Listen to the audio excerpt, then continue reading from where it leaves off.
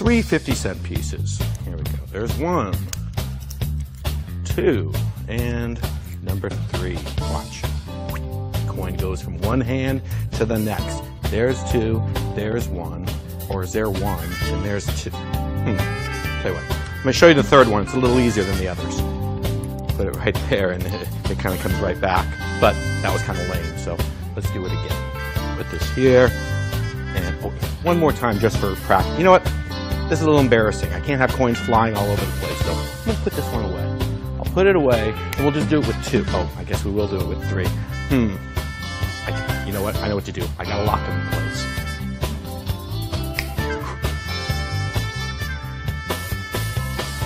Now, those coins aren't going